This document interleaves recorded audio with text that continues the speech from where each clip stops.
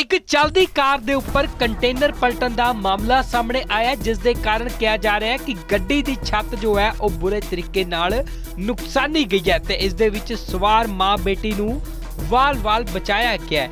ਦਰਸਲ ਕਿਹਾ ਜਾ ਰਿਹਾ ਹੈ ਕਿ ਜਦੋਂ ਇੱਕ ਕਾਰ ਨੂੰ ਕੰਟੇਨਰ ਇਹ ਓਵਰਟੇਕ ਕਰ ਰਿਹਾ ਸੀ, ਤਾਂ ਕੰਟੇਨਰ ਜੋ ਹੈ, ਕਾਰ ਦੇ ਉੱਪਰ ਹੀ ਪਲਟ ਜਾਂਦਾ ਹੈ। ਹਾਲਾਂਕਿ ਜਿਸ ਤੋਂ ਬਾਅਦ ਇਸ ਦੇ ਵਿੱਚ ਸਵਾਰ ਮਾਂ ਬੇਟੀ ਨੂੰ ਰਾਹਗੀਰਾਂ ਦੀ ਮਦਦ ਦੇ ਨਾਲ ਬੜੀ ਮੁਸ਼ਕਲ ਦੇ ਨਾਲ ਕਾਰ ਦੇ ਵਿੱਚੋਂ ਬਾਹਰ ਕੱਢਿਆ ਜਾਂਦਾ, ਪਰ ਗਨੀਮਤ ਰਹਿੰਦੀ ਹੈ ਕਿ ਉਹਨਾਂ ਦੇ ਕੋਈ ਵੀ ਗੰਭੀਰ ਸੱਟ ਨਹੀਂ ਲੱਗੀ ਹੈ। ਪਰ ਹਾਦਸਾ ਕਿਤੇ ਨਾ ਕਿਤੇ ਆਪਣੇ ਆਪ ਦੇ ਵਿੱਚ ਵੱਡਾ ਜ਼ਰੂਰ ਹੈ, ਕਿਉਂਕਿ ਜਿਸ ਤਰੀਕੇ ਦੇ ਨਾਲ ਸਕ੍ਰੈਪ ਦਾ ਭਰਿਆ ਹੋਇਆ ਇੱਕ ਕੰਟੇਨਰ ਗੱਡੀ ਦੇ ਉੱਪਰ ਹੀ ਪਲਟ ਗਿਆ, ਉਸ ਤੋਂ ਸਾਫ਼ ਅੰਦਾਜ਼ਾ ਲਗਾਇਆ ਜਾ ਸਕਦਾ ਹੈ ਕਿ ਵਾਲ-ਵਾਲ ਮਾਂ ਬੇਟੀ ਦੀ ਜਾਨ ਬਚੀ ਹੈ। ਦਰਸਲ ਇਹ ਹਾਦਸਾ ਖੰਨਾ ਦੇ ਵਿੱਚ ਵਾਪਰਿਆ, ਜਿੱਥੇ ਕਿ ਇੱਕ ਕਾਰ ਜਦੋਂ ਨੈਸ਼ਨਲ ਹਾਈਵੇ ਤੇ ਜਾ ਰਹੀ ਸੀ ਤੇ ਉਸ ਦੇ ਉੱਪਰ ਅਚਾਨਕ ਹੀ ਇੱਕ ਕੰਟੇਨਰ ਪਲਟ ਗਿਆ। ਹਾਲਾਂਕਿ ਕੰਟੇਨਰ ਪਲਟਣ ਦੀ ਵਜ੍ਹਾ ਜੋ ਹੈ ਉਹ ਦੱਸੀ ਜਾ ਰਹੀ ਹੈ ਕਿ ਕੰਟੇਨਰ ਨੂੰ ਚਾਲਕ ਦੇ ਵੱਲੋਂ ਲੋਕ ਨਹੀਂ ਸੀ ਕੀਤਾ ਹੋਇਆ।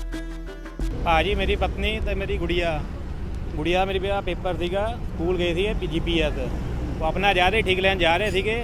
ਪਿੱਛੇ ਜਿਹੜਾ ਟਰੱਕ ਵਾਲਾ ਟਰੱਕ ਵਾਲੇ ਨੇ ਓਵਰਟੇਕ ਕਰ ਰਿਹਾ ਸੀਗਾ। ਪਿੱਛੋਂ ਹਿੱਟ ਕਰਿਆ ਹੈਗਾ। ਹਿੱਟ ਕਰਦੇ ਕਰਦੇ ਟਾਇਰ ਨੂੰ ਘਸੀਟਦਾ ਹੀ ਲੱਗ ਗਿਆ ਉਹ। ਜਿਹਦੇ ਕਰਕੇ ਹਾਦਸਾ ਹੋਇਆ। ਤੇ ਠੀਕ ਨੇ ਹਾਂ।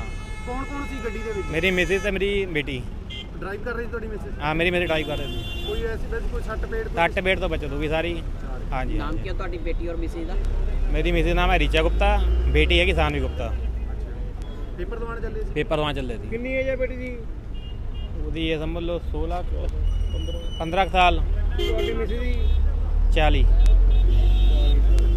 ਬੇਟੀ कंटेनर चला रहे थे आप हाँ जी drive कर रहे थे? हाँ जी हाँ जी मैं ड्राइव कैसे कर कोई रहा था हादसा है सर मैं उधर से अपना चाबे से भर के आ रहा था कंटेनर हाँ हाँ। और मैं अपनी लाइन से जा रहा था। हाँ। एक कुड़ी ना एक बस खड़ी थी यहाँ पे रोडवेज़ का बस और वहाँ से कुड़ी उसको बस को ओवरटेक करके ना डायरेक्ट आके अंदर ही घुस गई। मैं उसको बचाने की बहुत कोशिश किया।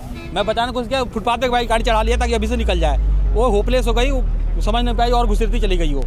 बचाते बचाते मैं डिवाइडर पर पहुँच गया पर गाड़ी मेरा पलटी हो गई। मेन रोड पे ऊपर चढ़ते हुए हुए हाँ, हाँ जी हाँ जी हाँ जी वो उधर से आके फिर मेन रोड पर चढ़ रही थी वो मैं अपने साइड से जा रहा था ठीक हो आप अकेले थे या आपके साथ कोई मैं मैं अकेला था सर ठीक है सभी हाँ जी हाँ जी सब ठीक है वो भी ठीक है हम भी ठीक है कहाँ से आ रहे थे सब चाय से भर के आ रहे थे कहाँ पर जाना कहाँ पर था मंडी जाना था सर टैंकर लोडेड है हाँ जी हाँ जी लोडेड क्या है माल है इसमें इसमें स्क्रैप है ਹਾਂਜੀ ਸਰ ਕਿੱਦਾਂ ਇਹ ਹਾਦਸਾ ਹੋਇਆ ਸਰ ਇਹ ਸਾਨੂੰ ਥੋੜੀ ਦੇਰ ਪਹਿਲਾਂ ਹੀ ਇਨਫੋਰਮੇਸ਼ਨ ਮਿਲੀ ਸੀ ਵੀ ਇੱਕ ਸਵਿਫਟ ਗੱਡੀ ਹੈ ਉਹ ਰੋਡ ਦੇ ਉੱਪਰ ਜਿਹੜਾ ਹੈਗਾ ਚੜਨ ਲਈ ਨੀਚੋਂ ਆ ਰਹੀ ਸੀ ਖੰਨਾ ਸਾਈਡ ਤੋਂ, ਗੋਬਿੰਦਗੜ੍ਹ ਸਾਈਡ ਨੂੰ ਜਾਣਾ ਸੀ। ਦੂਸਰੀ ਸਾਈਡ ਤੋਂ ਜਿਹੜਾ ਲੁਧਿਆਣੇ ਸਾਈਡ ਤੋਂ ਇੱਕ ਕੰਟੇਨਰ ਆ ਰਿਹਾ ਸੀਗਾ, ਜਿਹੜਾ ਅਚਾਨਚੱਕ ਕੰਟੇਨਰ ਆ ਪਲਟ ਗਿਆ ਤੇ ਕੋਈ ਜਾਨੀ ਨੁਕਸਾਨ ਨਹੀਂ ਹੋਇਆ। ਰੋਡ ਬਲੌਕ ਸੀ, ਅਸੀਂ ਲਾ ਕੇ ਆਪਣੀਆਂ ਟੀਮਾਂ ਸਾਰੀਆਂ ਐਸਐਸਐਫ ਦੀਆਂ ਟੀਮਾਂ ਨਾਲ ਲਾ ਕੇ ਰੋਡ ਨੂੰ ਜਿਹੜਾ ਕਲੀਅਰ ਕਰਤਾ, ਬਾਕੀ ਜਿਹੜੀ ਬਣਦੀ ਕਾਰਵਾਈ ਉਹ ਕਰ ਰਹੇ